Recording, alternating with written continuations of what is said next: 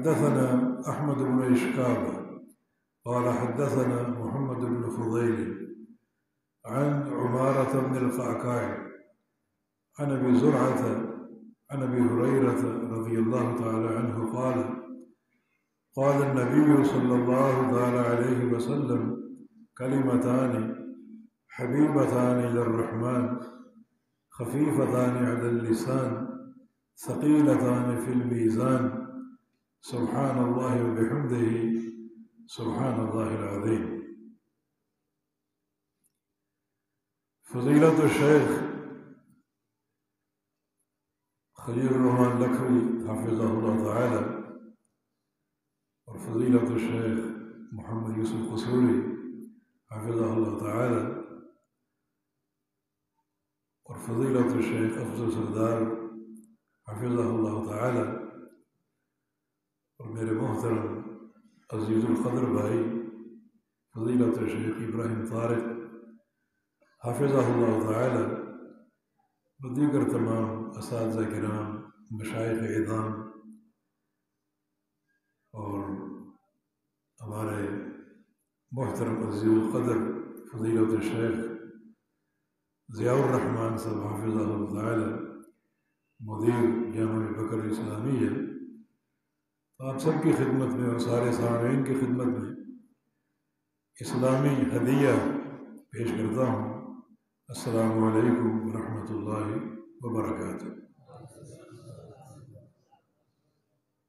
इब्राहिम तारिक साहब के प्रोग्राम में आज हाजिर होकर एक बहुत बड़ी गलत फहमी दूर हो गई। मैं ये समझता था कि ये शेर सिंध और सिंध का शेर का काम होता है गरजना और बरसना और धाड़ना और चिंगाड़ना। लेकिन आज मेरे इल्म में ये बात आई कि संजीदा प्रोग्राम बड़ा तामीरी, जो इनके खिताबात होते हैं, माशाल्लाह, वो भी तामीरी होते हैं। लेकिन जो तालीम व ताल्लुम का प्रोग्राम और सिलसिला है, ये बड़ा ही बाबरकत है, ये रूहानी मजलिस। इस पर शाहिद अदल है। अल्लाह मजिद फजल अल्लाह ताला उनकी सलाहियतों में, हिम्मतों में तोानाइयों में इजाफ़ा फरमाए। और जो भी तालबात और मालमात यहाँ इल्म के शमा रोशन किए हुए हैं, अल्लाह ताला उनकी जहूद को कबूल फरमा ले और अल्लाह इस इदारे के फैज़ान को, जैसा कि अज़ीज़ मुसलमान ने नज़म पढ़ी, फैज़ान को और आम कर दे। चरागों से चराग जलते जाएँ और दुनिया तोहहीद सुन्नत के नूर से मुनवर होती है। मुझसे कबल हमारे इंतहाई फाजिल और मोहतरम भाई फजीलत शेख खजुररहमान लखवी साहब हाफिज़ ने इमाम बुखारी रहम ताली की रहम की फ़क़ाहत और क़वत इस्तलाल के हवाले से एक मिसाल आपके सामने रखी और उस मिसाल के ज़रिए इमाम बुखारी का जो इल्मी तबसर और तबसर है कुजे में दरिया बंद कर दी अल्लाह ताला आपको जजाय खैर दे और अल्लाह ताला आपके इल्म अमल में और इजाफ़ा फरमाए और वाक़ता इमाम बुखारी रहमल्ला उनके मनाकब और उनके फ़जाइल और उनकी सीरत अगर बयान करना शुरू कर दें तो ये वक्त का जो एक दामन है वो तंग पड़ जाएगा और इस सीरत के हवाले से हम सुनते सुनाते एक बड़ा वक्त और फासले अबूर कर जाएँगे। बहर कैफ, इमाम बुखारी रहमल्ला की सीरत और आपके फ़जाइल और आपके मनाकब, जो कुतुब में मुंतशिर और फैले हुए हैं उनका मुताला हम पर ज़रूरी है और उन्हें अपने लिए मशल रह बने बिलखसूस मेरे अज़ीज़ तलबा तालिबात ये जो वक्त इस वक्त गुजर रहा है आप पर, आपकी उम्र के हवाले से तो ये हिफ्ज और जब्त और इतकान की उम्र। हदीस पढ़ते जाएँ और उनको हिफ्ज करते जाएँ।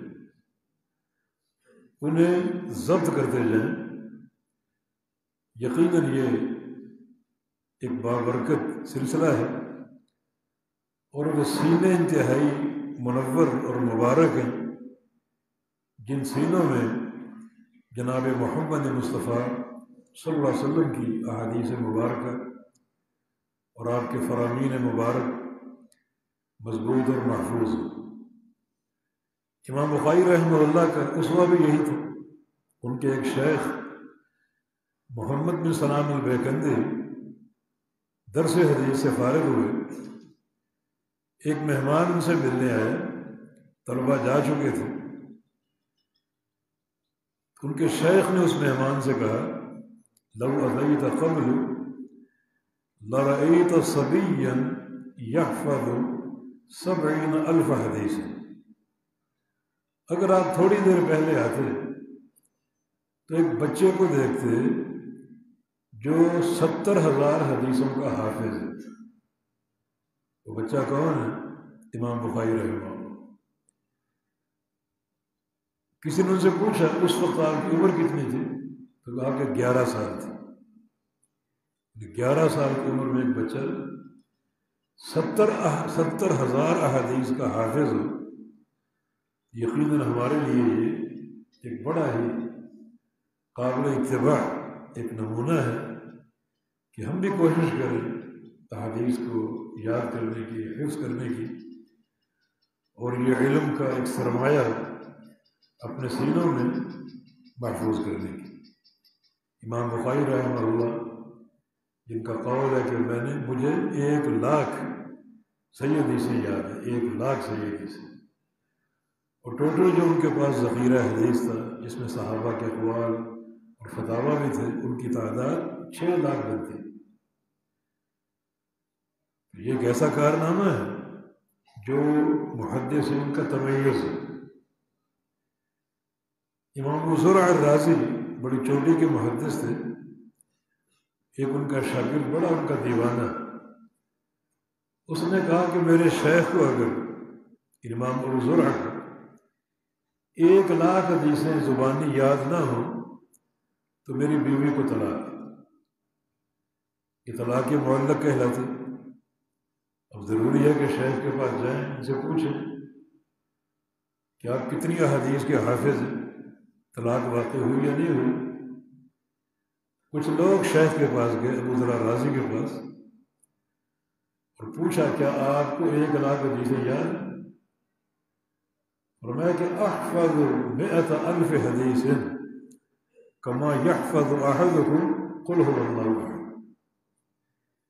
मुझे एक लाख हदीसें इस तरह याद है ज़ुबानी जैसे तुम्हें कुल अहद सूरह इखलास इस तरह मुझे अजबर और याद ये हमारे मुहदसी उलाए का आबाई जिनका तमयज़ और अहदीस के साथ शरफ और मोहब्बत और उनके हिफ्ज और जब्त का प्रोग्राम हम सब के लिए मशल राह होना चाहिए। ये उम्र जब्त की उम्र है, हिफ्ज की उम्र है, यकीनन अपने शब और रोज़ के अवकात में इस मकसद के लिए वक्त निकालें और अहदीस ज़ुबानी याद करें। मेरा तजर्बा है कि दो तीन बार एक हदीस पढ़ने से वो ज़ुबानी याद हो जाती है। बस हदीस की मोहब्बत हो और शगफ का एक वाकई एक काबिल अमल और काबिल कबूल सिलसिला हो। अल्लाह ताला आपको तोफ़ीक दे, आपके सीने खोल दे शर सदर अता फरमा दे, बसीरत अता फरमा दे और बसीरत का नूर अल्लाह ताला आपको अता फरमा दे कि आज भी मुहदसिन पैदा हों उफाज हदीस पैदा हों हाफिजात हदीस पैदा हों हाफिजात ये भी सरफ सालहीन का था इमाम मोहम्मद बिन सीरीन, उनकी बहन का नाम है हफ्सा बिनते सीरीन और इमाम मोहम्मद बिन सीरीन, उनकी फ़काहत और उनकी अमामत और जलालत सब जानते हैं, मारूफ और मुसलम उनके बारे में एक कौल है, हफ्सा बिनते सीरीन के बारे में। एक कौल है, आदम बिन अबी अयास रहमल्ला इमाम बुखारी के शेख। इनकी बहुत सी हदीसें सही बुखारी में उनका कौल है कि मेरे नज़दीक हफ्सा बिन तरीन जो है, अपने भाई मोहम्मद बिन सरीन से ज़्यादा हाफिज़ा और फ़कीह है एक खातून। और मोहम्मद बिन सरीन उम्मत के इमाम, बहुत बड़े फ़कीह। वादे को उनकी बहन उनसे ज़्यादा हाफिज और फ़कीर है सैदुलमसैद सैद ताबीन उनका एक शागिर उनकी मजलिस से कुछ एक दो दिन के लिए गायब हो गया जब वो हाजिर हुआ तो अपने शागिर से पूछना कि आप क्यों गायब हुए? हालाँकि मुलाजिम शागिर था, बिला नागा आता था। कहा कि मेरी बीवी का इंतकाल हो तो उसकी वो तजहीज़ और तकफीन और दीगर मामला मशहूर होना पड़ा। इसलिए ये नारा हो गया। सईद इबन मुसैब खामोश हो गए। दर से हदीस शुरू हुआ। जब मजलिस दरख्वास्त हुई तो शागिर से कहा, मुझसे मिल के जाना। शागिर बैठ गए शागिर चले गए, मेहमान चले गए। तो अपने शागिर से कहा कि, तुम्हारी बीवी फौत हो गई। मैं अपनी बेटी आपके निकाह में देता बेटी से उसने निकाह कर दिया। उसके बाद वो शागिर मुस्तकिल गायब हो गई। और सैद सैद को अफसोस भी हुआ वो बिल्कुल ही गायब हो गए हादरी छोड़ दी। तो बड़े अरसे बाद वो जब दिखाई दिए, नज़र आए तो उसे उन्हें पूछा, तुम कहाँ गायब हो? शादी के बाद कहा कि अब आपकी मजलिस आने की ज़रूरत बाकी नहीं रही। मुझे सारा इल्म है आपका। वो आपकी बेटी के पास भी। तो घर बैठ के उनसे पढ़ता। ये मुहदसात और फ़कीहत तालिबात को भी इन्हीं जो हमारी असलाफ मुहदसात और फ़कीहत हैं, इनकी तरह इलम का शगफ अपने अंदर पैदा करना चाहिए। दो खातन का ज़िक्र मैंने पढ़ा, बहुत अरसा पहले पढ़ा। शायद नाम आपको पेश ना कर सकूँ।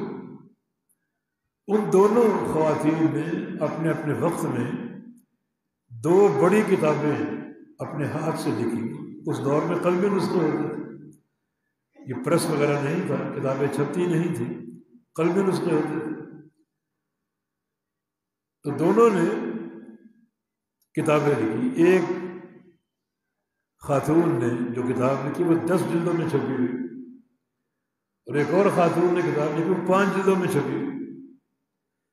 और किताब पूरी अपने हाथ से लिखने के बाद एक ने ये लिखा कि इसमें कोई गलती अगर हो तो मुझे माफ़ कर दिया जाए। मैंने ये किताब लिखी अयाम रिजायत में। मेरी गोद में बच्चा था और उसको दूध नहीं पिलाती और किताब में लिखती। इतना इल्म से शर्फ दूसरी खातून ने लिखा कि मैंने जब ये किताब लिखी तो एक हाथ में, एक हाथ से बच्चे को झूला देती, रस्सी अपने हाथ में लेकर, उसे झूला देती ताकि रोना बंद कर दे और दूसरे हाथ से किताब लिखती इतना उनका एक इलम से ताल्लुक। ये वसीक ताल्लुक। तो हमारे लिए भी ये आलिमात और ये मुहदसात मशल राह और हम इलम से ऐसा ही नाता जोड़ें, ऐसा ही ताल्लुक़ पैदा करें ताकि जो पहले सलफ साल के दौर में ये जौहर पैदा होते थे, आज भी पैदा हों और ये फ़ज़ा मअतर हो कादल और कादल रसूल की सदाओं से और चराग रोशन होते जाएँ और इल्म की जो ज़ियाबाशियाँ वो दुनिया को मनवर करती हैं और जहालत का कला कमा हो, जहालत का ख़ात्मा हो बतौफ़ी हो बेदिल्ला आपने ख़वान की तालीम का अहतमाम किया। बड़ा ही बाबरकत अहतमाम है। और ख़वान की तालीम और तस्कीफ़ और उनकी तबसर यकीन माशरे को इसकी ज़रूरत है और ये काम होना चाहिए पूरे तसलसल के साथ। अल्लाह तौफीक ने इमाम बुखारी रहमल्ला ने अपनी सही किताबुल में एक बाब कायम की। बाब तालीमी रजुल अहल। कि एक शख्स का तालीम देना अपनी अहल को, बीवी है या बेटी है या बहन है, उसकी तालीम का अहतमाम करें। ये बात कायम किया इसके तहत एक हदीस लाए हैं। रसूल का फरमान के सलासत, युतौन अजरहम मर्रतें तीन किस्म के अफराद ऐसे हैं, जिन्हें उनका अजर दोहरा मिलता है। जो भी वो नेकी करें, उनका अजर डबल उनको मिलता है, दोहरा मिलता है। कौन कौन से? एक रजुलमिन अहदल किताब, आमन नबी यही फुरमा आमन नबी वो किताबी शख्स, यहूदी या ईसाई, जो अपने नबी पर ईमान लाया फिर मेरी नबूवत पाने के बाद मुझ पर भी ईमान लाया किसी दोहरा अजर में और दूसरा वो शख्स है, रजुल अमत फ़ल्लमहा फ़असन तालीमहा व अदबहा फ़असन तालीमहा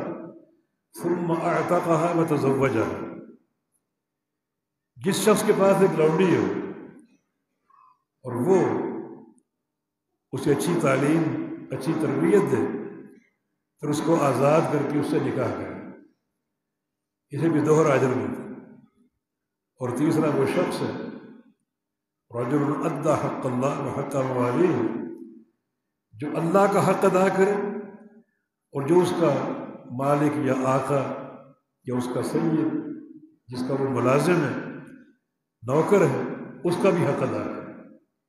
पूरी दयानत के साथ अल्लाह का हक भी अदा करे और अपने आका का हक भी अदा करे, इसे भी दोहरा अजर मिलता इमाम बुखारी का इसे जरा किस टुकड़े से कि जिस शख्स के पास एक लौड़ी हो, उसे अच्छी तालीम, अच्छी तरबियत दे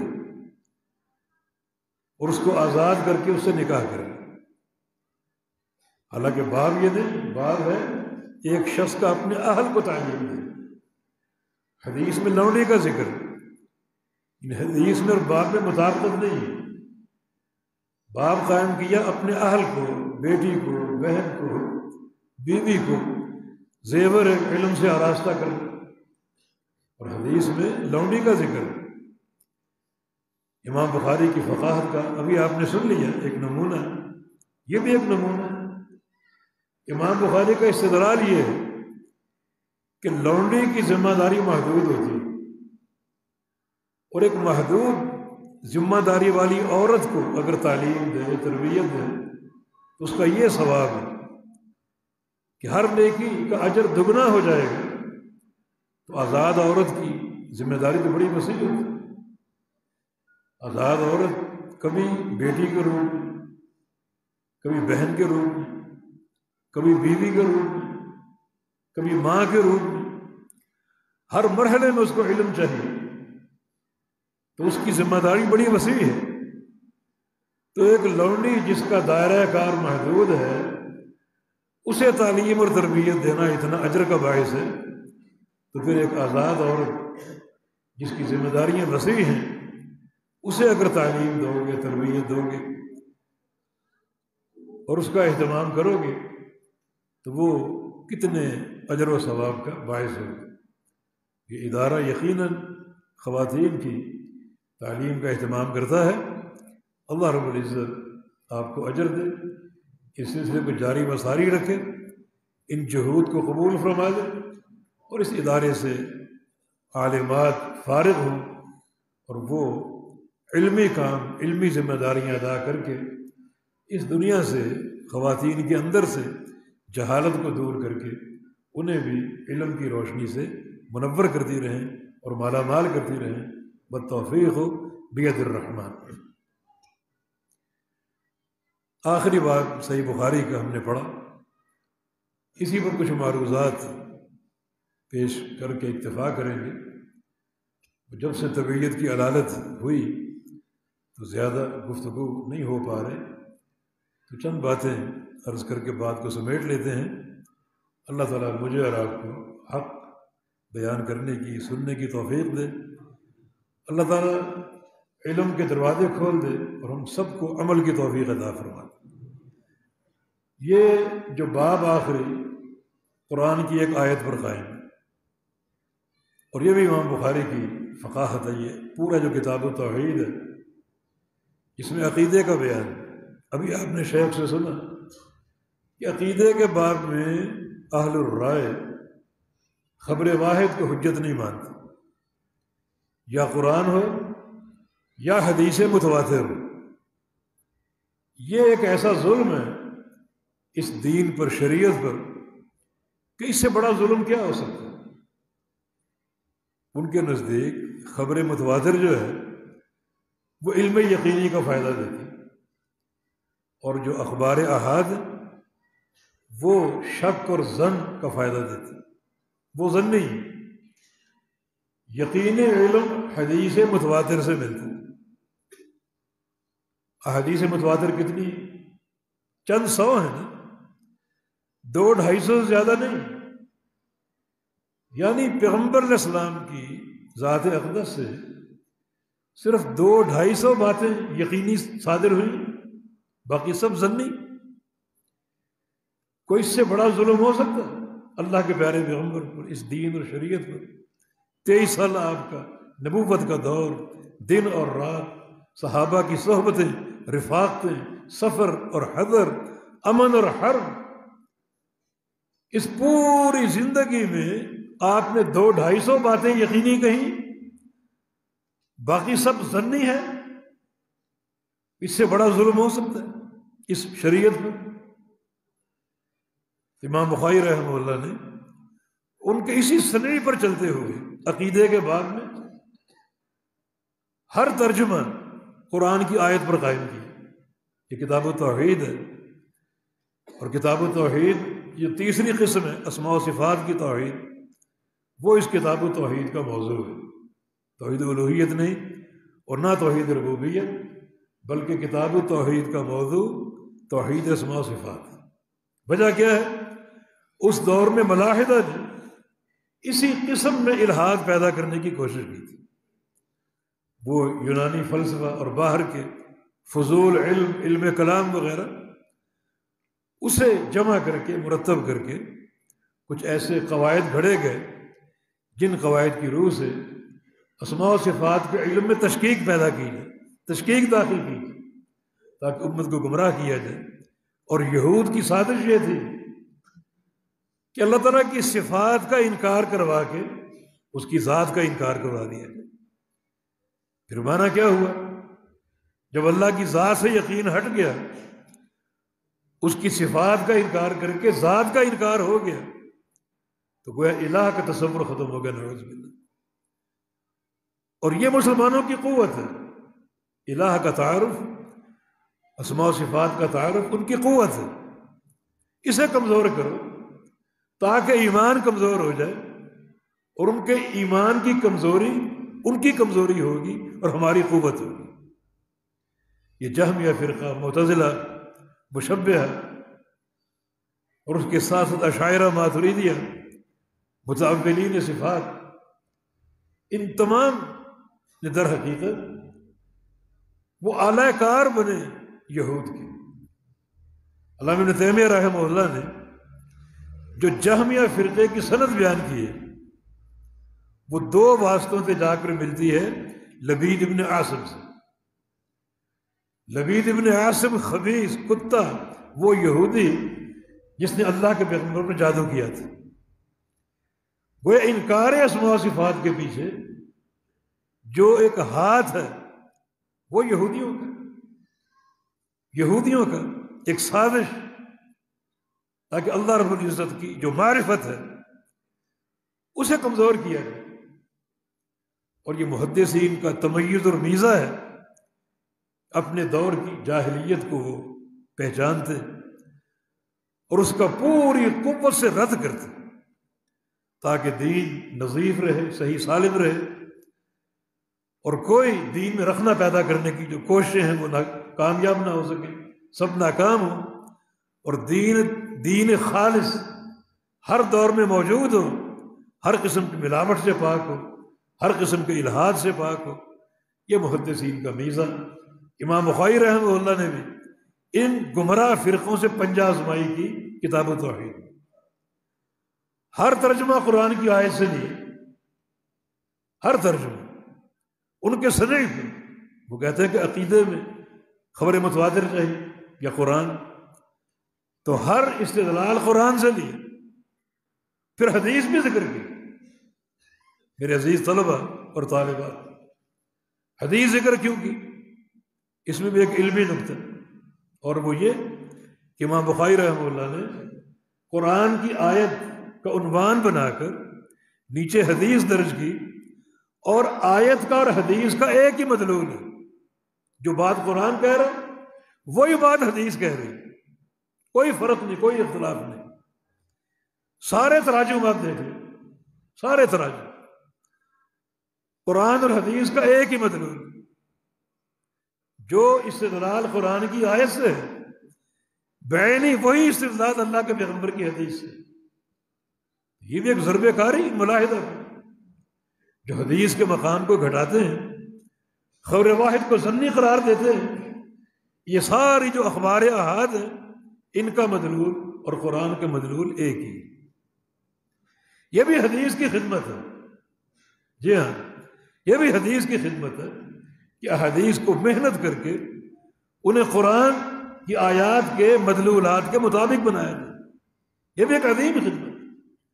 चुनाचे ये किताब तोहहीद में जो बीसियों तराजम इनको आप पढ़ें बार बार पढ़ें, फिर इसके तहत हदीस को पढ़ें, ये नुकता आप पर अया होगा। कि कुरान पाक और अहाद, अहदीस, इनका एक ही मतलब दोनों में कोई इख्तलाफ नहीं। कोई इख्तलाफ ये किताब तो है जिसका आखिरी उनवान कुरान की एक आयत पर ही। बाब खौज बनदामवाजीन किस तरह यौमिल क़याम. अल्लाह फरमाता है कि हम अदल का मीज़ान कायम करेंगे, अदल का तराजू। यौमिल क़ियामा ये लाम जारा ये मुतल है नज़र के फेल के और इसके दो माने या तो ये लाम बरए तोक़ीद यानी ज़रफ़िया है ज़रफ़ ज़मान फिर मुजाफ महसूफ मानना पड़ेगा तकदीर इबारत यूँ होगी व नज़रमवाजीन लहिसाब यौमिल हम अदल का मिज़ान क्यों कायम करेंगे क़यामत का हिसाब लेने के लिए, ये लाम तालीम है। क़यामत का हिसाब लेने के लिए। एक माना, ये लाम तालीलिया या फिर लाम तोक़ी लाम ज़रफ़िया, और लाम ज़रफ़िया फ़ी के माना में होती तकदीर इबारत यूँ बनेगी बनाजामवादीनकिस्ता फ़ी यौमिलक़ियाम हम क़्यामत के दिन अदल का तराजू कायम करेंगे। नादा को माना नहदिर अदल का तराजू हाजिर करेंगे। लोहजर के माना में फ़ायदा ये है कि तराजू बन चुके। बल्कि क़्यामत के हवाले से जो भी खबरें अल्लाह उसके रसूल ने दी, वो सब तैयार जन्नत भी तैयार है, जहन्नम भी तैयार है। जन्नत के बागात भी तैयार हैं, जन्नत की नहरें भी तैयार हैं। जन्नत की हूरें भी तैयार हैं। जन्नत के महल्लात भी तैयार हैं। और फिर दूसरी खबरें जो हैं, जैसे हौद कौसर है वो भी तैयार है। पुलिस रात भी तैयार है। इस तरह मीज़ान भी तैयार है ये ईमान लाना ज़रूरी है। यानी आखिरत पर ईमान लाने के लिए ज़रूरी है कि आखिरत को सच और हक माना जाए। और आखिरत के ताल्लुक से जो खबरें अल्लाह उसके रसूल ने दी, वो सारी हक हैं और सारी मौजूद है। तो ये मीज़ान मौजूद है। इसको हाजिर करें। जब सारे अवलिन व आखिरीन जमा हो जाएँगे, ये तराजू लाया जाएगा और उनके बीच में लाकर जहाँ अल्लाह की अदालत कायम होगी, इसे गाड़ दिया जाएगा, नस्ब कर दिया जाएगा। तो हम हाजिर करेंगे अदल का मीज़ान। मवाजिन जमा है मीज़ान की और किस्त मसदर मसू सिफत में कोई तारुज नहीं है। क्योंकि मसदर है और मसदर में वाहिद, तस्निया और जमा सब बराबर। मीज़ान किस्त, मीज़ानान किस्त और मवाजीन किस्त सब जायज़, दुरुस्त। किस्त यानी अदल का मीज़ान, अदल का। इंसाफ का नहीं, अदल और इंसाफ में फ़र्क है। अदल का माना यह है कि जो शख्स जिस चीज़ का हकदार है वो उसको दी जाए। इंसाफ भी बराबरी का नाम है। लेकिन इस तरह कि दो जो फरीक हैं, जो झगड़ा कर रहे हैं इख्तलाफ कर रहे हैं उन्हें आधा आधा देकर राज़ी कर दिया जाए निस्फ इंसाफ निस्फ उनसे निस्फ को माना आधा। मसलन इख्तलाफ है, एक रोटी के बारे में जैद कहता है, मेरी है। अमर कहता है, मेरी। फैसला आपके पास आए आप क्या कहें? लड़ो ना। आधी तुम ले लो, आधी तुम ले लो। ये इंसाफ बराबरी होगी। ये अदल नहीं है। अदल का माना, जिसकी वो रोटी है, उसको दी जाए। जिसकी नहीं है, वो महरूम और जिसकी है, उसे दी जाए। ये मिजान अदल है। मिजान अदल कि जो बंदा जिस जजा, बदला और सिला का मुस्तक होगा, वो उसको मिलेगा। बड़ा दकीक हिसाब है। आगे बताएँगे बड़ा दकीक हिसाब। यह है मवाजीन किस्त। जमा में तद का मन है, मगर यह मीज़ान की तफहीम को ज़ाहिर करता है, वाहिद का सिरा वैसे उलमा के इख्तलाफ बाज कहते हैं, हर अमल का मीज़ान अलग है, तभी मवाजीन जमा का सिरा लेकिन जमहूर की राय यह है कि मीज़ान एक ही होगा, सारे अमाल को तोलने के लिए और जमा बरए तफहीम। एक चीज़ की हैबत को और उसकी अजमत को नुमाया करना मकसूद कि कहीं मीज़ान तराजू के तस्वुर से आपके जहनों में दुनिया का तराजू ना आ जाए, जिस पर सुनार सोना तोलता है या कोई अनाज वाला अनाज तोलता है, वो तराजू एक महदूद सा होता है। उस तराजू का तस्वुर ना आए, ये ऐसा तराजू होगा जिसके एक पलड़े में सातों आसमान और सातों जमीनें समा जाए। एक पलड़े सातों आसमान समा जाएँगे और सातों जमीनें और उनकी मखलूक भी एक पलड़े में समा जाएँगे। तो वो मीज़ान छोटा नहीं, क्यों ना उसकी एक अजमत का तस्वुर आपको दिया जाए। बाज़ात वाहिद पर जमा का सीधा मुस्तमिल होता है उसकी तज़ीम और तफहीम के लिए, जिसे कुरान पाक में कदबत कौम नूह मुरसलीन जुटलाया कौम नूह ने मुरसलीन को। मुरसलीन जमा है। और कौम नूह के पास एक ही नबी नूह अलैहिस्सलाम आए थे।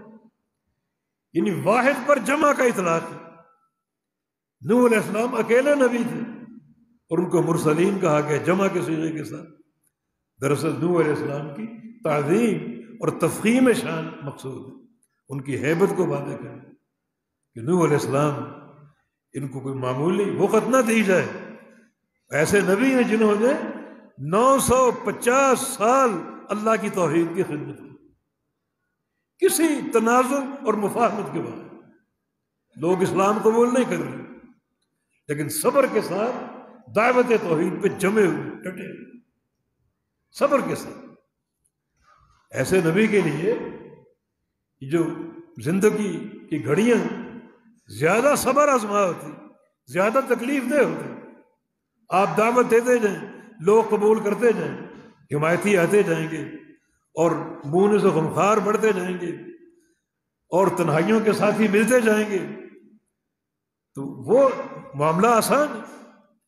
मगर वो नबी जो दावत दे और कबूल कोई भी ना करे, कबूल कोई भी ना करे नफर कलील के सिवा तो उसकी ज़िंदगी ज़्यादा सबर आजमा होती कौम का सोशल बाइकाट और कौम का तकलीफें देना, इस्तेजा करना कदम कदम पर तंग करना, सताना तो यकीनन ये ऐसे नबी के लिए एक शाख घड़ी होती है।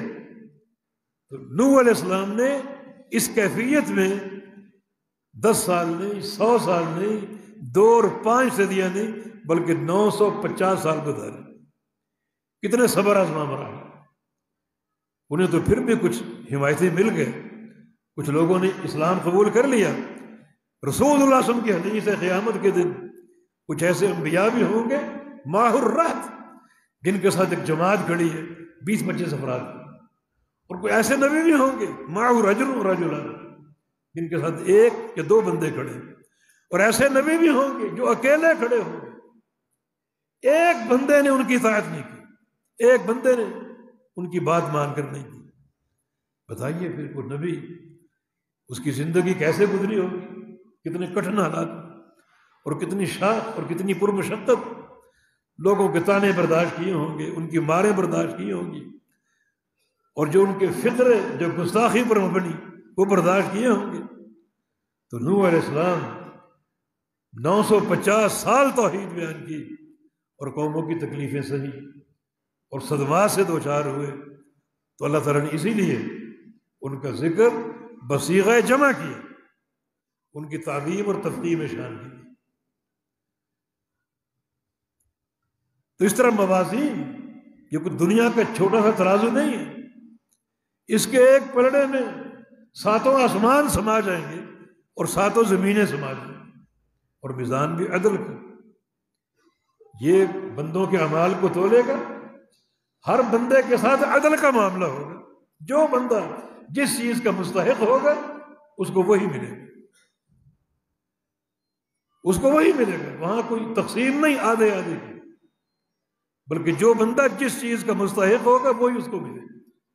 ये अल्लाह तला का अदल बनदावाजीन यौमिल हम क़यामत के दिन या क़यामत के हिसाब के लिए अदल का मीज़ान कायम करेंगे। इमाम बुखारी फरमाते कि वह अन्ना अमाल बनी आदम व कौल यूजन बनु आदम के सारे अमाल और उनका कौल तोला जाएगा इमाम बुखारी ने यह बात क्यों कायम किया दरअसल दो गुमराह फिरकों को रद्द करने के लिए हमने बताया कि मुहदसिन का जो एक एक मीज़ा था वो हर जहालत का कला कमा कर हर जाहलीत से पंजा आजमाई कर ताकि उसको साफ़ करके दीन को निखारा जाए और खालिश दीन पेश किया जाए। खालिश दीन। तो मीज़ान के ताल्लुक से दो फ़िरक़ों का इनहराफ और उनका इलाहाद माँ बुखारी ने उसका रद्द किया, एक फ़िरका मतज़ला का अकल परस लोग अकल परस लोग। वो हर बात को अकल से परखते थे। शरी नसूस से नहीं, बल्कि उनके नज़दीक जो बात अकल के खिलाफ हो गो वो कुरान में हो, हदीस में हो, उसको रद्द करना ज़रूरी, उसको हम नहीं करेंगे। यहाँ भी यही बात है। इन आमाल तोले जाएँगे तराजू में। कहते, अकल इसको नहीं मानती। क्योंकि आमाल आराज है, और आराज को तराजू नहीं तोड़ सकते। क्योंकि अपनी तकसीम है, दुनिया में जो भी चीज़ है, वो तीन में से एक है। या वो अर्ज़ है, या वो जौहर, या वो जिसम। जौहर, जिसम या अर्ज़। जिसम क्या है या जौहर क्या है? जौहर जो कायम पे बेजादी हो, जिसको कायम होने के लिए किसी सहारे की ज़रूरत ना ये जौहर। जिसम क्या है? जो कायम पे जात ही हो और अर्ज़ को उठा ले। और अर्ज़ क्या है? जो कायम पे जात ही ना हो सके, अपनी ज़ात पर कायम ना हो सके, उसको कायम होने के लिए सहारे की ज़रूरत हो। चुनाचे जिसम उस सहारे को, उसे सहारा देता है और अर्ज़ को उठाता है। अब जब अर्ज़ अपनी ज़ात पे खड़ा नहीं हो सकता, तराजू उसको कैसे तोलेगा नमाज़ है, ये अर्ज़ है। रोज़ा है, ये अर्ज़ है। हज एक अर्ज़ है। तो तराजू इन अमाल को कैसे तोलेगा जिसम हो, तराजू उसको तोल सकते हम चीनी की मिसाल देते हैं। चीनी का दाना। दाना जिसम है, और चीनी के दाने में मौजूद मिठास अर्ज़ है। तराजू मिठास को नहीं तोड़ सकता, दाने को तोड़ सकता क्योंकि दाना जिसम है। तो ये आमाल आराज हैं, ऐसा कोई तराजू नहीं है जो आराज को तोड़ सके अजसाम को तोलेगा ये मोतजला की फ़िक्र जो अकल पर कायम थी, इन नादानों ने जो सबसे बड़ी जहालत और हिमाकत का सबूत दिया, वो ये है कि शक अल्लाह की कुदरत के बारे में। ये खबर किसने दी? कि हम अमाल को तोलेंगे अल्लाह ताला तो अल्लाह ताला हर शय पर कादिर नहीं। इन अल्लाह शयन कदीर। अल्लाह हर शय पर कादिर। दरअसल उन गुमराह फिरकों की अहल राय की, जो मसाइल में इनहराफ और इलाहाद, उसका एक बड़ा सबब यह है कि वो अल्लाह की कुदरत को मखलूक की कुदरत पर क्यास करते अल्लाह तला की कुदरत को कुत और ताकत को मखलूक की कुदरत पर क्यास करते वो कहते हैं, आराज को मखलूक नहीं तोड़ सकती तो अल्लाह तला भी नहीं तोड़ सकता। अल्लाह तला की कुदरत को मखलूक की कुदरत पर क्यास करते हालाँकि नहीं सकते ही शरी ज़ात तशबी से मुबर्रा और तशबी से पाक और साफ़। उस ज़ात ने खबर दी, हम अमाल को तोलेंगे तो अल्लाह तला खाद, अल्लाह अमाल को तोलेंगे। तो हम आहल राय इन मतजला का मुतकलमीन का मुआवजा करेंगे, किताब सुन्नत के नसूस से।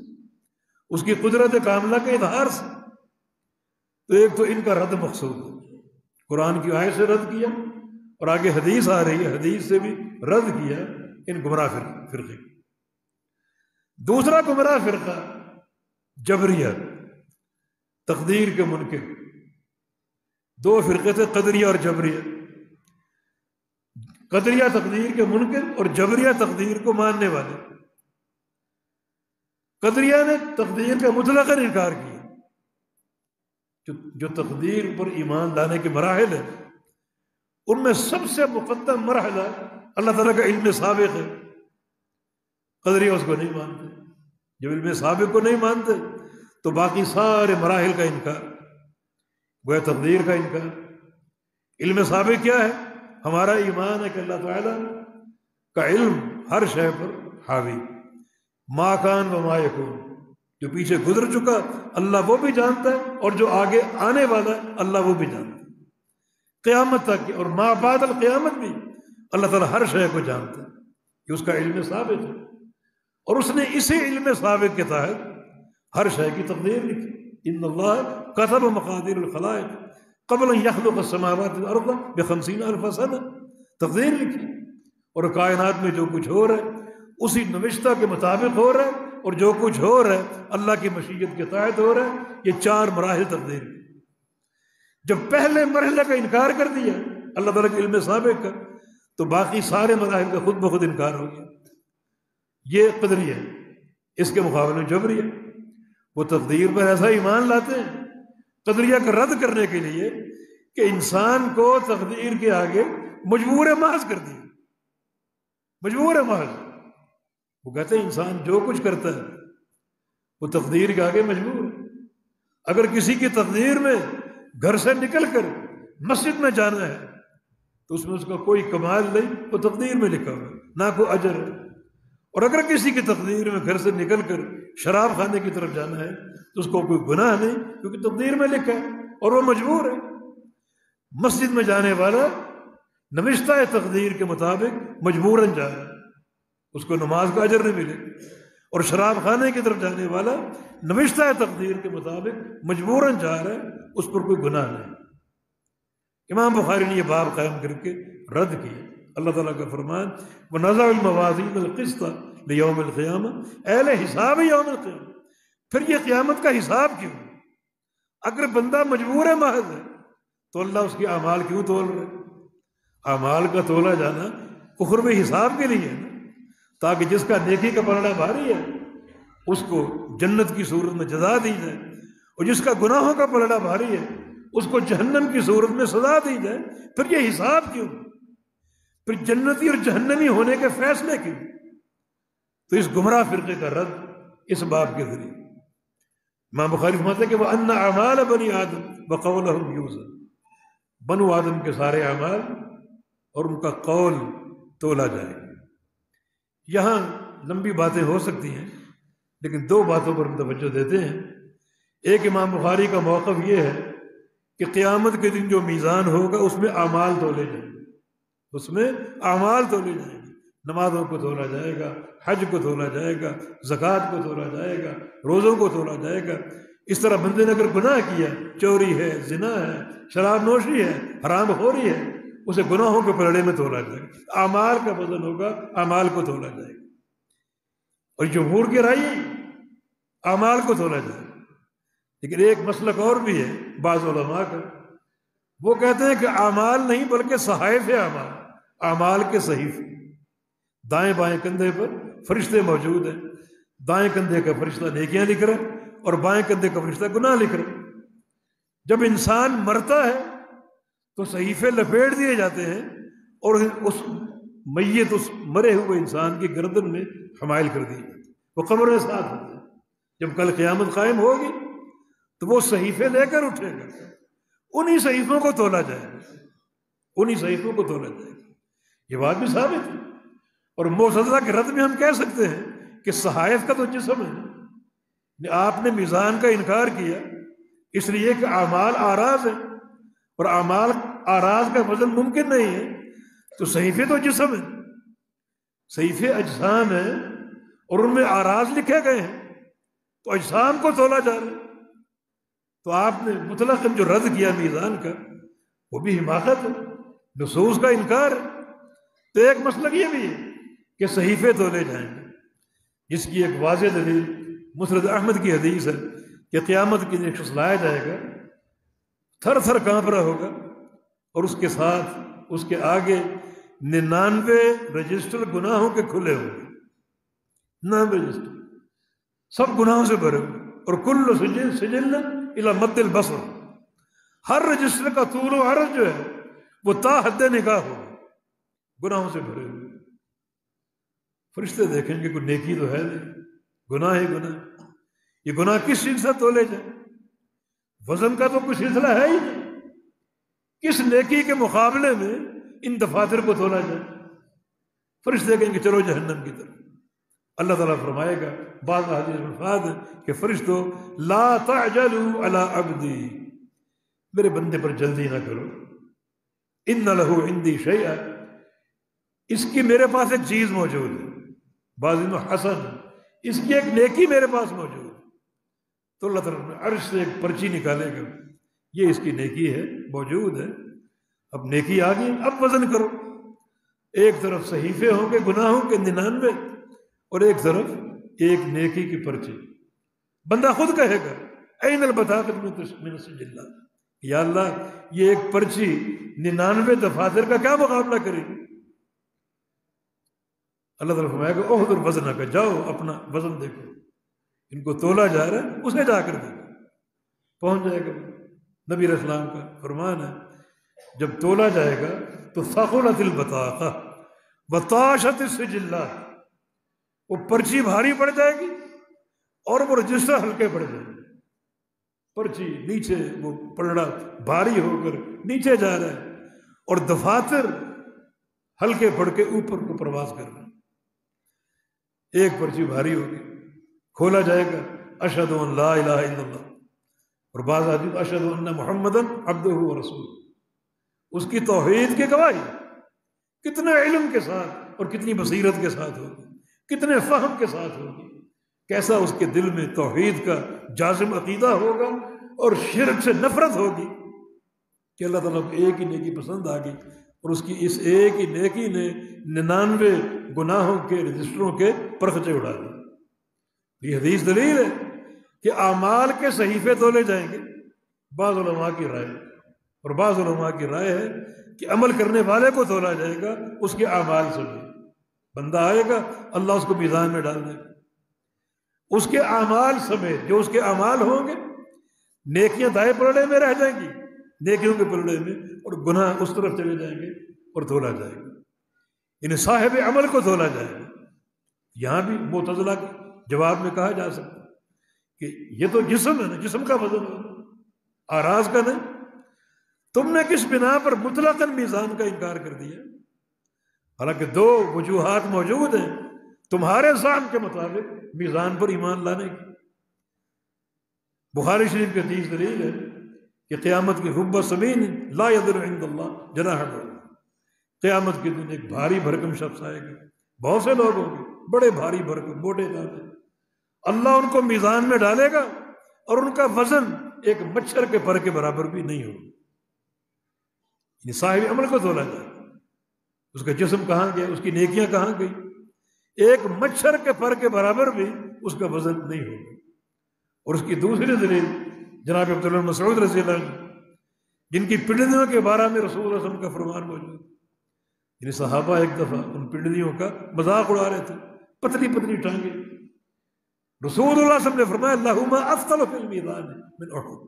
मेरे अब्दुल्ला की ये दो टांगे, ये दो पिंडियाँ कल अल्लाह के मीज़ान में डाली जाएँगी और सिर्फ़ ये दो टांगे बहुत पहाड़ से भारी होंगी। एक तरफ़ मोटा ताज़ा इंसान, जिसका वज़न पूरे वजूद का मच्छर के पर के बराबर नहीं, और एक तरफ़ ये अदीम शान साहबी, जिसकी सिर्फ़ दो पिंडलियाँ बहुत पहाड़ से भारी हों जिसका माना, अल्लाह तला साहिब वज़न को भी तोलेगा।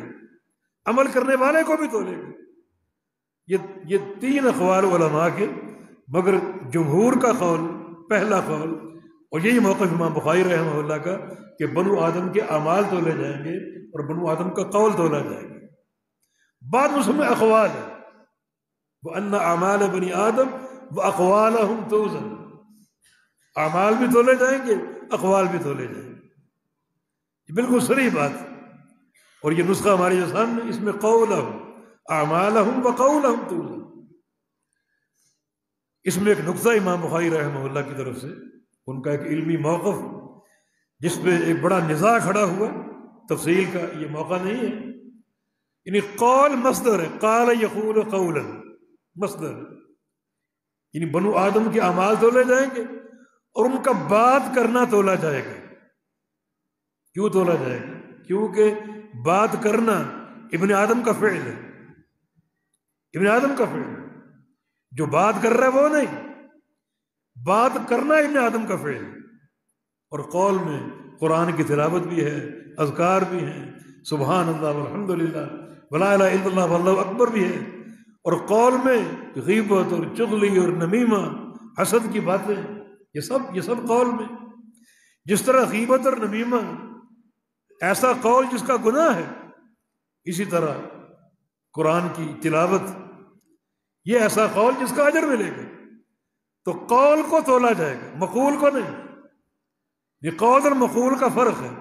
कौल बात करना और मकूल जो बात की जाए। तिलावत मस्तर, मतलूब, जिसको पढ़ा जाए, जिसकी तिलावत की जाए। तिलावत तोली जाएगी, मतलूब नहीं। मतलूब कलाम रहमान इस तरह कौल तोला जाएगा मकूल नहीं। इमाम बुखारी रहमुल्ला ने अपने इस इस कौल, लफ्ज कौल के ज़रिए रद्द किया उस दौर की एक फ़िक्र का। वो तलबा और बात ने पढ़ा अपने मशाइ से कि एक नज़रिया उस दौर में फैला। इमाम बुखारी रहमुल्ला के एक सवाल के जवाब की वजह से, क्या नज़रिया? जब पूछा क्या मा तकूल फ़ी? मा तकूल फ़ी? लफ्ज का बिल कुरान। आपका लफ्ज कुरान के बारे में क्या ख्याल? आपका लफ्ज, यानी आपका पढ़ना। सवाल मलफूज का नहीं है, सवाल लफ्ज का। फरमाया कि लफ्ज नहीं, बिल कुरान मखलूक। मेरा कुरान पढ़ना मखलूक है, कुरान मलफूज है। कुरान मखलूक नहीं, मेरा कुरान पढ़ना मखलूक तो कौल और लफ्ज, या नुतक, ये बंदे का अमल मंतूक और नुतक और, कौल और मकूल और तो कौल हम यूजन, इंसान का बात करना, उसको तोला जाएगा। बात अच्छी भी है और बुरी भी है। जिस तरह बुरी बात गुनाह का बायस है, और गुनाहों के पलड़े के सिकल का बायस है अच्छा कौल, नेकी का बायस है, अजर सवाब का बायस है। तो कौल, यानी कौल का तोला जाना, हक। कौल का तोला जाना, हक। तो गोया अमल भी तोले जाएँगे अखबाल भी तोले जाएँगे, जो आपके अजगार हों, जो आपने कुरान पढ़ा हो, या बुरी बातें की हों, सबका वज़न होगा। और फिर उस वज़न के मुताबिक जो फैसला सामने आएगा, वो फैसला सादर किया जाएगा। ये मकसद है, यानी कौल और अखबाल का फ़र्क। तो बनु आदम के अमाल भी तोले जाएँगे अखबाल भी। सवाल एक, क्यों तोले जाएँगे? देखो अमाल के ताल्लुक से किताब और सुन्नत में दो शर्तें हैं। यानी क़यामत का हिसाब उन दो शराय की तकमील के साथ। अमल, उन दो शराय की तकमील के साथ। अमाल गिने जाएँगे ज़रूर, गिनती होगी ज़रूर। नमाजें आपकी उम्र आपकी पचास साल थी पचास साल की नमाजें शुमार की जाएँगी। माल आपका मसल दो करोड़ रुपए था। दो करोड़ के हिसाब से उसकी जक़ात गिनी जाएगी। रोज़े गिने जाएँगे। कि आपने पचास साल की उम्र में कितने रोज़े बनते हैं? पूरे रखे या नहीं रखे? ये गिनती। यह है अमाल की तादाद। लेकिन किताबों सुनने से सिर्फ़ तादाद की बात नहीं की। अमल की कबूलियत के लिए दो शर्तें भी ज़िक्र की। उखरवी हिसाब। उन दो शर्तों की तकमील के साथ। इन क़्यामत का हिसाब उस वक्त तक मुकम्मल नहीं होगा, जब तक अमाल को तोला ना जाए। पहले अमाल की तादाद और उसकी गिनती का हिसाब, फिर अमाल को तोलने का हिसाब। तोला क्यों जाएगा? वो दो शराय चेक करने के लिए। नबी इस्लाम की दो हदीसें हैं। वो दोनों हदीसें कौल फ़सल है ने उसको तासील का दर्जा दिया। उलमा ने दो हदीसों को जवानुल कलम कहा है क्या आपने इन दो हदीसों में पूरा दीन बयान कर दिया, पूरा दीन, पूरी बाज का कौल है कि पूरे दीन का मदार ये दो हदीसें दरअसल दो हदीसें सेहत अमल की शर्तें हैं। उखरवी साहब इन शराय की तकमील के बगैर मुकम्मल नहीं होगा एक हदीस क्या है? इन नमल अमाल बिन व इन नमाल कुल्ल मेरे मान ये अमल की कबूलियत और अमल की सेहत की असासी शर्त है कि सारे अमाल की कबूलियत और सारे अमाल की सेहत नीयत के साथ। और इंसान को क्या मिलेगा उसके अमल से? जो वो नीयत करेगा। अल्लाह के नबी की हदीस, कौल फ़सल। इस हदीस का दर्जा तहसील का बड़ी जामे माने हदीस है। सारे अमाल दिन के हो, रात के हो, सिरनी हो, जहरी हो। अमल कलबी हो, अमल लिसानी हो, अमल जवारे हो। कोई अमल इस हदीस के अमूम से खारिज नहीं। सारे अमल उनकी सेहत और कबूलियत नीयत के साथ, ये शर्त। तो क़्यामत में जो अमाल गिने जाएँगे, फिर आपके अमल के ताल्लुक से नीयत को चेक किया जाए। ये मतलब कुरान का भी वमा उमेरु मुखलसिन मुखलसिन एक असासी शर्त है इबादत में, अमल में। इखलास है अमल ज़रूरी। इबादत में इखलास का पहलू ज़रूरी। इन कुरान ने बिल्कुल हदीस की तायद की, बल्कि दो मकाम और भी। इसी उमूम की तायद में अल्लाह ताला फरमाता है, यौम तुबल सरायर सूरह अतारिक की आए यौम तुबल सराय तुबला बमाना तुकशफ। और सरायर सरीरा की जमा। माना भेद, राज, उस दिन राजों को खोला जाएगा। इसकी तफसीर बहुत लंबी। एक तफसीर यह भी है कि इंसान जो अमल लाएगा, ये नमाजें, ये रोज़े, ये हज, ये जक़ातें, ये सदक़ात ये जिहाद, ये सारे अमाल लाएगा, पेश होंगे। सारे अमाल का ज़ाहिर देख लिया। अब इन अमाल के ताल्लुक से उस बंदे के बातिन को निकालो, नीयत क्या थी इसकी? इसने दस हज किए, बड़ा अमल है, मगर इन हजों में नीयत क्या थी इखलास था या नहीं? रियाकार तो नहीं था, पक्का नमाजी था, ठीक है, पचास साल की नमाज़ है, ये अमल है मगर नमाजों की अदायगी में इसकी नीयत क्या थी? इखलास थी या रियाकारी की नीयत थी? बुनियादी शब्द कुरान ने लगाई, जो बात हदीस ने की वही बात कुरान ने की। सूर्य वाला आदियात में भी इस मजमून को दोहराया गया। इस मजमून को दोहराया गया।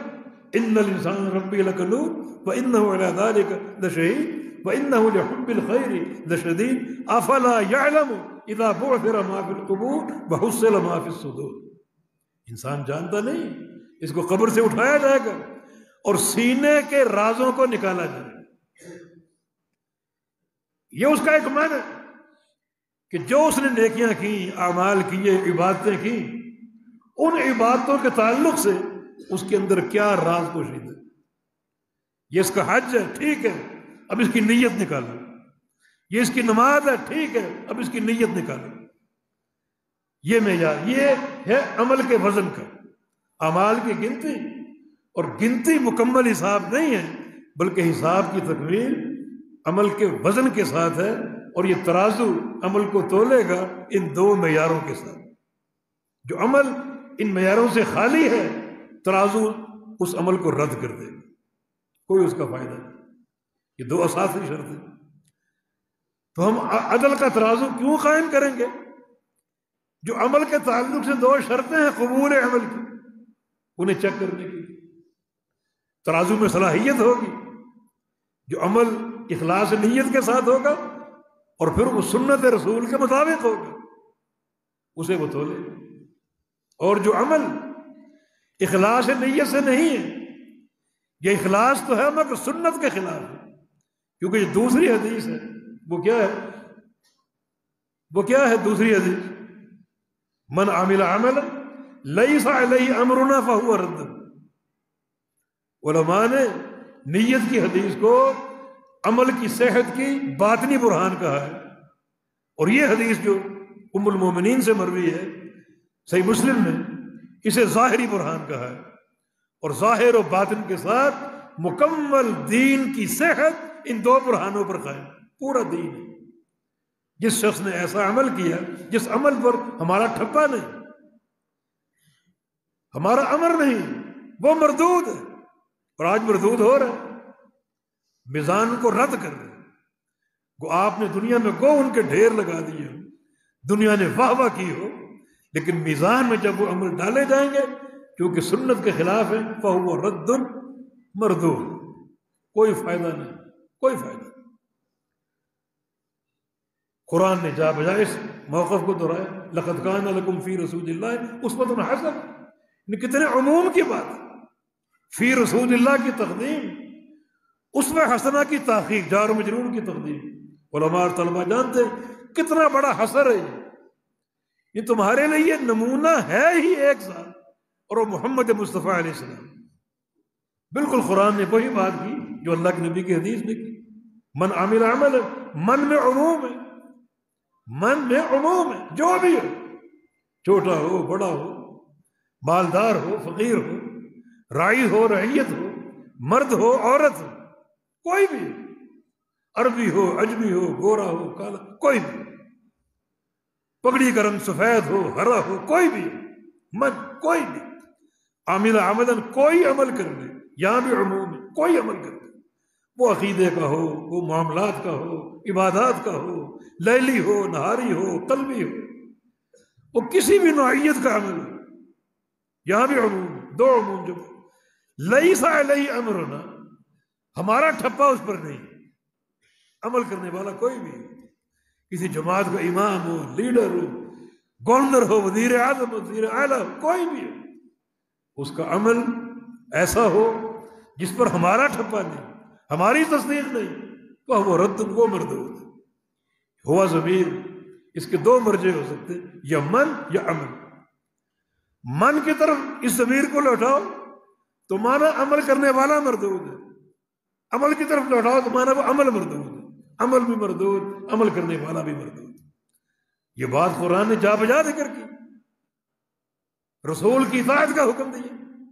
और यहाँ फरमाया कि तुम्हारे लिए रसूलुल्लाह ही नमूना हर चीज़ में, अकीदा, अमल, मामलात, इबादत, हर चीज़ में नमूना मोहम्मद मुस्तफ़ा तो जो दो असासी शर्तें हैं इन शर्तों को देखा जाएगा क्यामत के हिसाब के लिए।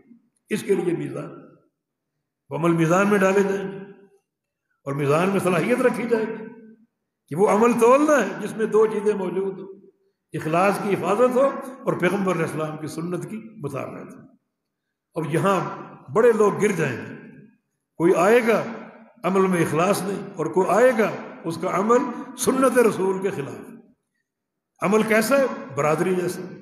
बाप दादा, कौम बरादरी, फलां पीर मुर्शिद, फलां इमाम, बस उनके पैरों का। मिजान ये बातें नहीं जानता। वो एक ही शख्सियत को जानते, एक ही हस्ती को, और वो मोहम्मद रसूल बल्कि जवान की एक हदीस वो हुक्मन मरफू है, कि साहिबुल मीज़ान जबरील जबरील क्या करोगे फिर? जबरील आपके अमाल को चेक करेंगे। अमीन वही। हर नबी के अमीन वही और मोहम्मद मुस्तफ़ा की वही के भी अमीन वो हम आपको देखेंगे।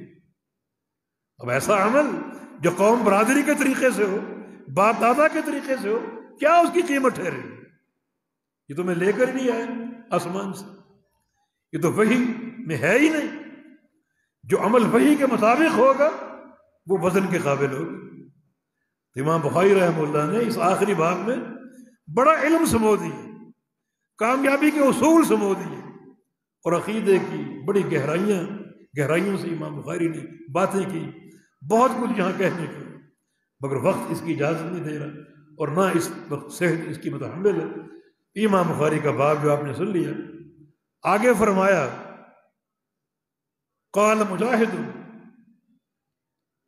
अलकिस्तास है किस्तास वनजल मवाजीन किस्त ये किस्त और किस्तास दोनों का एक ही माखज है गो बाज़मान इसको मुहर्रम कहा है वो भी माना अदल वाजिन मुस्तकीम कुरान की आए इमाम बुखारी रहमल्ला ने इस आयत की तफसीर कर दी इमाम बुखारी जिस तरह हदीस के माहिर थे तफसीर के माहिर थे इसी तरह लगत के भी बहुत बड़े माहिर थे लगत के भी तो किस्तास का माना बयान किया इमाम मुजाहिद के कौल से कि किस्तास का माना अदल ये रूमी ज़ुबान का लफ्ज़ है।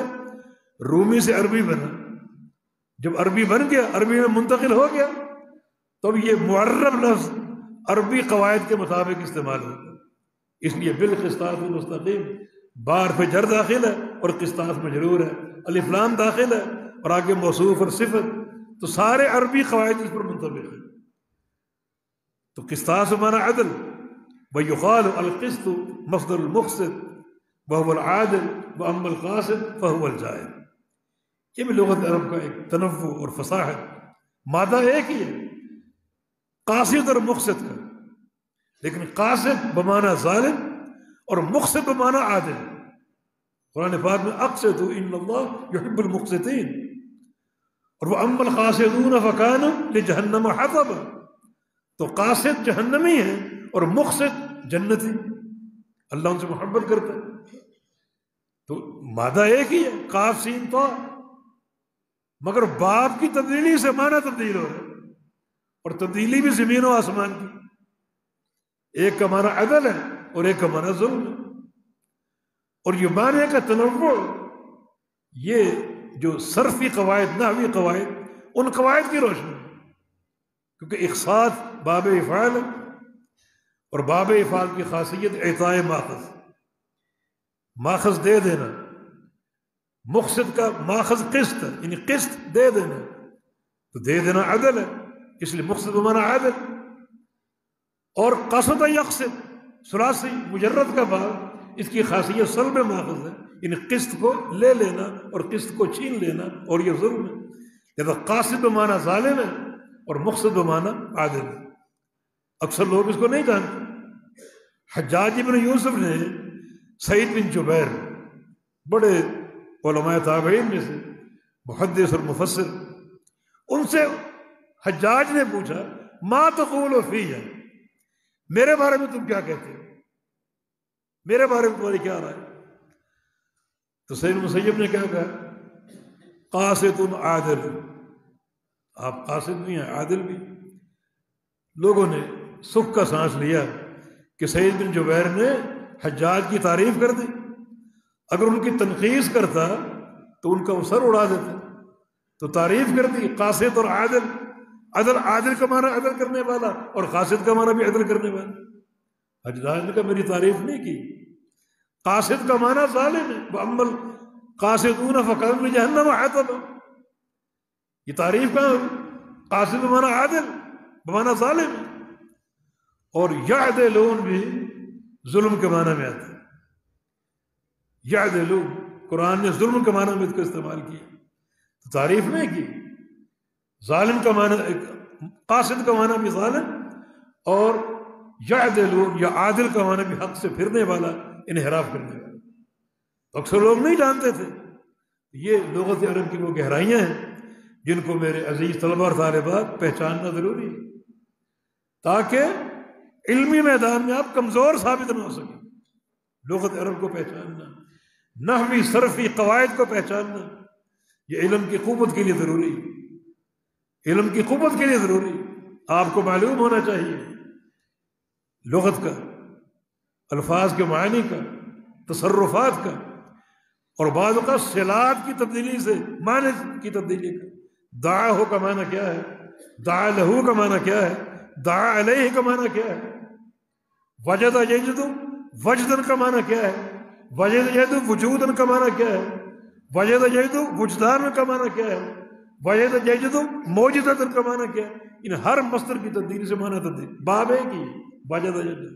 मगर हर बाब की तब्दीली से माना तब्दीली। हो तो ये आपके अहाता इलमी में होना चाहिए, ताकि लुगत जब अबूर हो तो किताब और सुन्नत का फ़हम आपके लिए आसान हो जाए।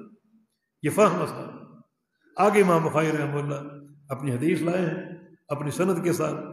इमाम बुखारी के शेख अहमद बिन अशकाब, उनके शेख फुजैल, मोहम्मद बिन फुजैल, उनके शेख उमरा बिन काका, और उनके शेख अबू जुरा और उनके शेख साहबी रसूल अबू हुरैरा रज़ी वही इमाम बुखारी की सनत पाँच वास्तों से अल्लाह के पैगंबर तक पहुँच रही। पाँच वास्तव अहमद रशकाब मोहम्मद बिन फुजैल, उमारा बिन काका, अबू ज़ुरा अबू हुरैरा, पाँच वास्ते और बुखारी रहमल्ला की छोटी से छोटी सनत जो सनत आली, वो तीन वास्तों से। बाद आसानीद ऐसी हैं, उसको सलासी, हदीस कहा जाता है, तीन वास्तों से अल्लाह के पैगंबर तक उनकी सनत पहुँचती सही बुखारी में सलासियात की तादाद तीस है। इन तीस हदीस इमाम बुखारी की सलासी हैं, जो तीन वास्तव से अल्लाह के पैगंबर तक पहुँच रहे ये सनत हमारा एक तमैज़ है, बड़ी इसमें हलावत है। ये वो सिलसिला आलिया है इसमें बड़ी रूहानियत है और बड़ी बरकत है। सनत पर बात किसी और मौके के लिए।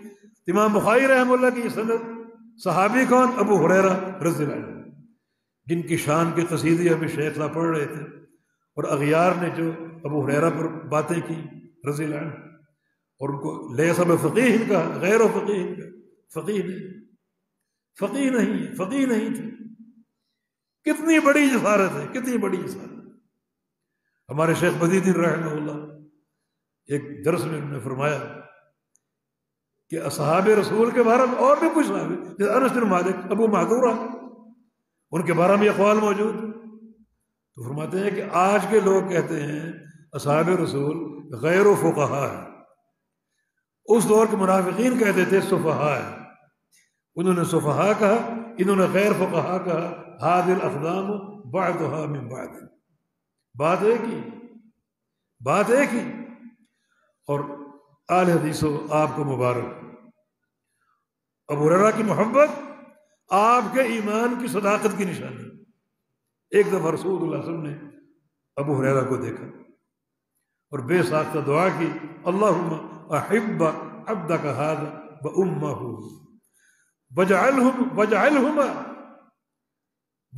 महबूबैन या इस अबू हुरैरा से मोहब्बत फरमा और इसकी वालदा से मोहब्बत फरमा और इन दोनों को अपने मोमिन बंदों का महबूब बना माना क्या हुआ? जिस दिल में अबू रड़ा की मोहब्बत है, उस दिल में ईमान की सलामती। मोमिन बंदे। यानी मोमिन बंदे उनके ईमान की सलामती की गवाही इस हदीस में मौजूद है कि जो मोमिन बंदे क़्यामत तक आएँगे, उन्हें अबू हुरैरा को उनके नज़दीक महबूब बना दे। तो अबू हुरैरा की मोहब्बत, ये अलामत ईमान है, ईमान की निशानी। और उनकी वालदा से मोहब्बत, अलामत ईमान और जिस दिल में अबू हुरैरा के बारे में इस तरह की बातें, इस तरह का इनहराफ और खुराफात हैं यकीन उनको अपने ईमान की तरफ़ रुजू करना चाहिए। अपने ईमान की सलामती को चेक करना चाहिए। ये अबू हुरैरा से फरमाते हैं कि काल नबी सल्लल्लाहु अलैहि वसल्लम, नबी वसल्लम ने इरशाद फरमाया, कालिमतान हबीबतान रहमान। खफीफतान अदलसान फ़कीलतान फिलमीज़ान ये कलिमतान बमाना कलामान या जुमला था ये कलमा बमाना कलाम भी आ सकता है जैसे कलमा शहादत अशद ला इसको कलमा कहते हैं ला इसको कलमा कहते हैं हालाँकि ये पूरा कलाम कलमा लफ्ज़ मुफरत का नाम और कलाम जुमला मुफीदा का नाम तो ये इसको कलमा यहाँ बोला गया लेकिन मुराद कलाम, दो जुमले, दो कलाम। कलमतान ये खबर मुकदम है। मुबतदा को मौखर किया गया, ताकि आपका शौक बढ़े, आपकी रगबत बढ़े। दो जुमले, वो दो जुमले, उनके तीन औसाफ। हैं हबीबतान इधर रहमान रहमान को महबूब है। रहमान को बड़े पसंद है। रहमान को बड़े पसंद है।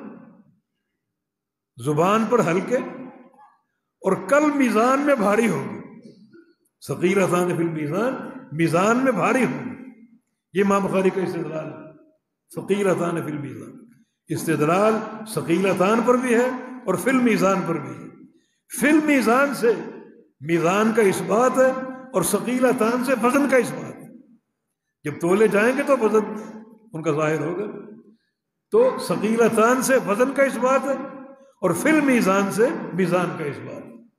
ये बुखारी का इस्तेदाल इस हदीस के इस टुकड़े पर कायम ये दो जुमले रहमान को महबूब है। ये रहमान इन दो जुमलों से मोहब्बत फरमाते अगर हम भी मोहब्बत करें तो रहमान हमसे भी मोहब्बत करेगा।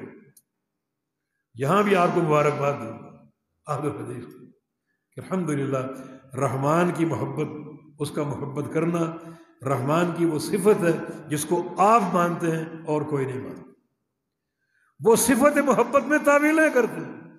जनाब, मोहब्बत का माना इरादा इरा कि मोहब्बत तो मखलूक भी करती है, फिर रहमान मखलूक के मुशाबे हो जाएगा तस्वीर आदम आएगी।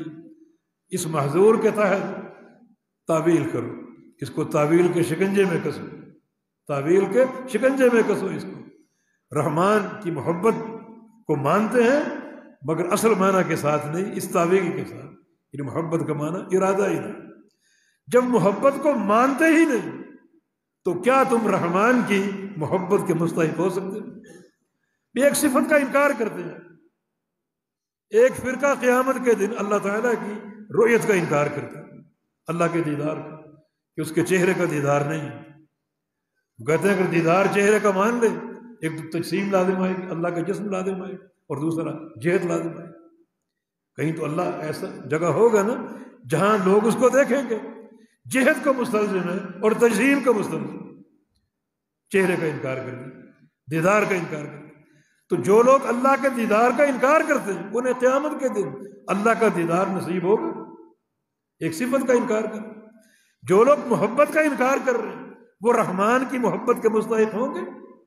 यहाँ भी आपको मुबारकबाद दूँगा।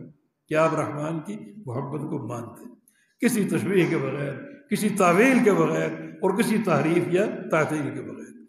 रहमान मोहब्बत करता है, उसका मोहब्बत करना कुरान से साबित है, अहदीस से साबित है। मोहब्बत कैसे करता है? जैसे उसके शया निशान क्या मखलूक जैसी करता है? नहीं। क्योंकि लई सके मिसल ही शही उस जैसी कोई चीज़ नहीं। तशबी से पाक तशबी की तो बात ही नहीं। तशबी का शाबा ही नहीं। तशबी तब बनती जब यूँ कहा जाए कि हुब हो कहबिल मखलूक। कि उसका मोहब्बत करना मखलूक की मोहब्बत जैसे ये बात तो कोई नहीं करता, कोई नहीं करता। तो मोहब्बत करना उसकी सिफत है। मोहब्बत कैसे करता है, ये मालूम नहीं। कुरान और हदीस में अल्लाह की सिफत का ज़िक्र, सिफत की कैफियत का ज़िक्र नहीं। जो चीज़ बयान है, उस पर ईमान है। और जो चीज़ बयान नहीं है, वो अल्लाह के सुपुर्द हम ये नहीं कहेंगे कि उसकी मोहब्बत हम जैसी है।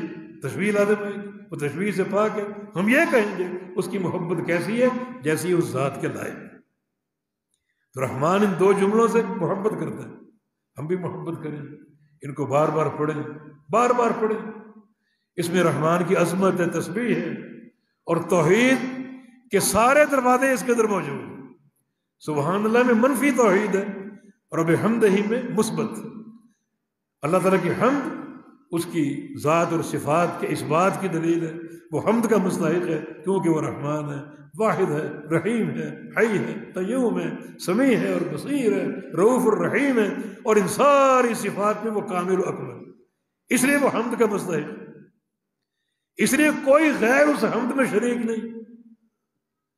वो अकेला यकता इन सारे महामिद का मुस्तक है, इस सारी सना और सारे सिफात का मुस्तक है, वो अकेला और तना कोई शरीक नहीं। जब कोई शरीक नहीं तो कोई हमद का मुस्तक नहीं। जब वो अकेला है तो सारी हमद उसके लिए। ये हमद। और सुबहान अल्लाह में हर ऐब की नफी, हर ऐब की, सबसे बड़ा ऐब अल्लाह का शरीक मुकर करना ये सारे अयूब की जड़ है, सारे नकाइश की जड़ है। सुबहान अल्लाह अल्लाह पाक है, हर ऐब से पाक है, हर शरीक से पाक है।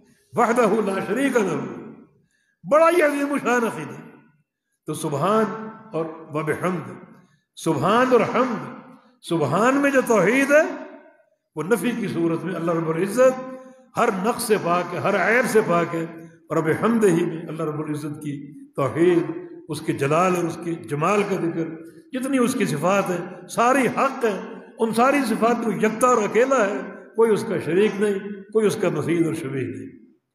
गोया ये एक हदीस, इसमें दो अल्फाज पूरी तोहहीद का मुरक्का है। यानी तोहहीद असमा सिफात पूरी तोहहीद असमा सिफात का मुरक्का नफ़ी भी आ गई इस बात भी आ गई इसलिए ये दो कलमे, ये दो जुमले अल्लाह को महबूब और क्यामत के दिन भारी होंगे भारी होंगे। इसे बात साबित हो रही है, क्योंकि ये दोनों जुमले, दोनों कलमे तोहहीद के कलमे तो क़्यामत के रोज़ अल्लाह के मैदान में सबसे भारी चीज़ आपका अकीदा तोहहीद होगी अभी हदीस आपने सुनी। कि एक पर्ची अशद अल्लाह की निन्यानवे गुनाहों के दफातर पर गालिब आ गई। माना तोहहीद के बराबर किस चीज़ का बदल? और हदीस, बाद इसमें अल्फाज है कि लायफ को मास मिल्ला है अल्लाह के नाम के मुकाबले में कौन सी चीज़ भारी हो सकती? सबसे भारी अल्लाह का नाम। इसलिए तोहहीद पर मेहनत करो। इन हदीस का एक लाजमी दर्स है तोहहीद पर मेहनत करो। तोहहीद को वक्त दो। फहम तोहहीद की कोशिश करो। ये शरीर का लाजमी दर्स है।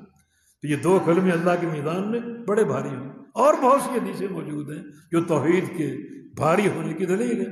नबी इस्लाम की हदीस है, बखिन बखिन लखमसिन माफलहन्ना फिल मीज़ान, पाँच चीज़ें, क्या कहना उनका? वो अल्लाह के मीज़ान में बहुत भारी होगी। कौन सी? एक सुबहान अल्लाह दूसरी अलहमदिल्ला तीसरी लारा और चौथा अल्लाह ये चार कलमे और पांचवी चीज़ क्या है? जिस शख्स का बच्चा फौत हो जाए और वो सब्र करे, सब्र करता है, अल्लाह उसके सब्र को पसंद करता है, उसके सब्र को संभाल के रखेगा और आज उसके मीज़ान में तोलेगा और ये सब्र बड़ा भारी साबित होगा। उसकी नेकी के पलड़े को बोझल कर देगा, भारी कर देगा और वजनी कर देगा। तो अल्लाह ताला हमें इन सारे जो एतकादी बातें कुछ की गई, अमली बातें की गई, अमल करने की तोफ़ी अता अपनी बेटियों से मैं बतौर नसीहत के ये बात अर्ज़ करूँगा कि जो इल्म आपने यहाँ हासिल किया, इस इल्म की ज़क़़त अदा करती रहें और वो है आगे तालीम देना। अपने अपने घरों को लौटें, अपने घर के कमरे को मुख्त करें उमुलमिन की तरह सैद आयशा सदीक़ा रज़ी की तरह, अल्लाह के पैगंबर के इंतकाल के बाद, एक कमरा जो उनका हुजरा था, ये मुख्त था औरतों की तालीम के लिए औरतें आती थी, आपसे हदीसों का सिमा करती। दो हज़ार से शायद हदीसें उन्होंने अल्लाह के पैगंबर से रवायत की। हमारे लिए आपकी ज़ात एक नमूना है, हमारी बच्चियों के लिए कि आप घरों को लौटें और एक हुजरे को, कमरे को मुख्त करें बर तालीम, इलाके की बच्चियों के लिए।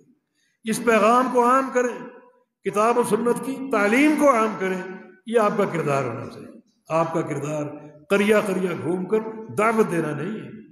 यह आपके एक एहतशाम और आपके वक़ार के मुनाफी। जो शरीयत ने औरत को एक तहफ़ दिया, पर्दे में रखा, उसका तकादा यही है कि आप पर्दे में मशहूर होकर दीन का काम करें। दावत दीन की हजत लेकर आप करिया करिया घूमें और गा गा कर तकरीरें करें, ये आपका मकाम नहीं बच्चों इस हाँ आप मुअल्लिमा बने मुअल्लिमा बने। अपने घर के कमरे को मुख्त करें इलाके के बच्चियों को पढ़ाएँ और उनको इलम दें, हदीसें पढ़ाएँ फ़िक्र पढ़ाएँ, अकीदा पढ़ाएँ और बच्चियाँ आती जाएँ मुस्तविद होती रहें यह आप असल करने का काम। अल्लाह पाक तोफ़ी अता फरमा दे अल्लाह इन इदारों को कायम दायम रखे। अल्लाह ताला हमारे अजीज़म इब्राहिम तारक साहब की उम्र में, सेहत में इल्म अमन बरकतें अता फरमाए। जो मुआविन और मुसाहिमीन हैं, अल्लाह उनके माल में बरकत अता फरमाए। इस और मलमात और तालबात अल्लाह ताला सब की उम्र में बरकतें अता फरमाए और इस इदारे को दीन का किला बना दे। यहाँ से नूर फूटता रहे, चराग रोशन होकर निकले और चरागों से चराग जलते जाएँ और दुनिया मुनवर होती जाए। अकूल अकौली हादा वस्तफ़िर वाखिर दावाना अलहमदिल्ला